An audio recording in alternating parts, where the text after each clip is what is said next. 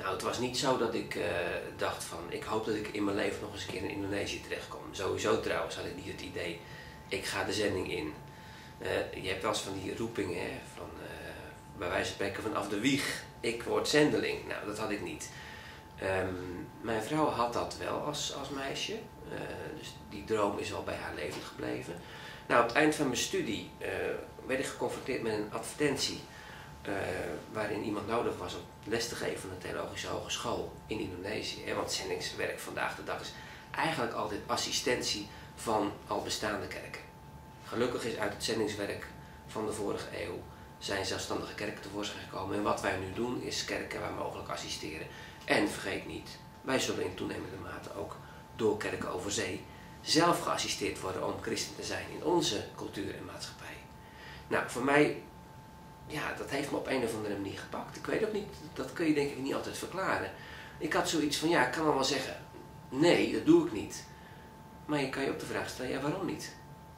Nou, daar kon ik niet meer van loskomen en uiteindelijk, en dat heeft natuurlijk ook iets met de motivatie van mijn vrouw uh, te maken gehad, hebben wij die keuze gemaakt. En uh, het is een fantastische tijd geweest. Wat maakt die tijd zo fantastisch? Nou, dat je sowieso in aanraking komt met christenheid in een totaal andere wereld. Zeker in het begin als je dan vreemd bent en je wordt ook wat overweldigd. Je wordt er een beetje in gegooid. Hè? Zo van, nou ja, bijna van zoek het dan verder maar uit. En als je dan geloofsgenoten ontmoet, uh, ik weet nog goed de eerste kerkdienst. Je verstond er nog eigenlijk heel weinig van zo'n warm kerkgebouw. Maar zo'n vocal groep uh, van jongeren die er aan het zingen was en die, die, die liederen herkende je dat je ineens merkt van hé, hey, je maakt hier uh, dus de ervaringen van de broeders en de zusters in een totaal andere situatie, maar het gedeelde zelfde geloof. Nou, dat was een van de fascinerende dingen. Verder vond ik het ook heel mooi om echt een bijdrage te kunnen geven aan uh, studenten, jongeren die in een belangrijke levensfase terechtgekomen waren. Um, en die als docent, die meer deed dan alleen maar lesgeven en daarna weer naar huis ging, uh, toch iets mee kon geven. En dan merk ik ook in de wereldkerk kun je gaven voor elkaar ook ten dienste laten komen. En dat mocht ik doen in Indonesië. Um, waarschijnlijk heeft u behalve uh, broeders en zusters ook uh, niet-christenen daar uh, mogen spreken in ja, Indonesië. Ja. ja. Hoe heeft u dan die liefde van Christus aan hen laten zien? Ja, dat zou je bij wijze van spreken aan hen moeten vragen. Uh, als je constant zo super bewust bent van hoe jij de liefde van Christus laat zien. Uh, ik vind altijd een mooie uitdrukking, je moet eigenlijk het licht op je rug dragen. Dan uh, zit je zelf niet constant naar je lichtje te kijken, maar je, je hoopt dat je het verspreidt. Ehm, kijk, mijn taak was natuurlijk niet om rechtstreeks te gaan evangeliseren. De tijd van de zeepkist, van hier komt de evangelist die tot de heidenen preekt, is voorbij. Wat je doet, is de kerk daar op een bescheiden manier, maar ik denk wel zinvol, toerusten voor hun taak om de liefde van Christus ook zichtbaar, tastbaar en hoorbaar te maken aan mensen in hun omgeving, in hun cultuur. Nou, eh, dat was eigenlijk mijn hoofdbijdrage. En natuurlijk heb je ook contact met niet-christenen. Wij hadden bijvoorbeeld moslimburen. Nou, wij gingen bij hen op bezoek uh, bij Idul Fitri en zij kwamen bij ons op bezoek met kerstfeest. Nou, dat is een manier om ja, toch over God te spreken met elkaar. En dat, dat kan ook. Gelukkig kan het ook. Het is eigenlijk heel opvallend dat in de Indonesische cultuur je veel gemakkelijker en sneller over God spreekt dan bij ons. Het is bij ons nog een beetje taboe. Maar als je daar in het openbaar vervoer stapt, waren van die, van die soort Volkswagen busjes, dan kon je na drie minuten een gesprek over God hebben. Dat is eigenlijk wel heel fascinerend. Hoe verklaart u dat dat in Nederland dan niet mogelijk is op die manier? Wij, wij hebben een, een hele kritische cultuur. En een cultuur waarin het spreken over God langzaam naar de marge verschoven is. Het komt in het publieke domein ook niet echt zo massief meer voor. Dus, um, en het heeft misschien ook wat te maken met de verlegenheid van veel christenen uh, ten aanzien van hun eigen geloof.